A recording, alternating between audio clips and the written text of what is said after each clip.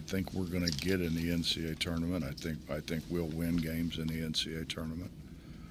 Um, I mean, how many I don't know, but we, I think we will win games. I think we will advance.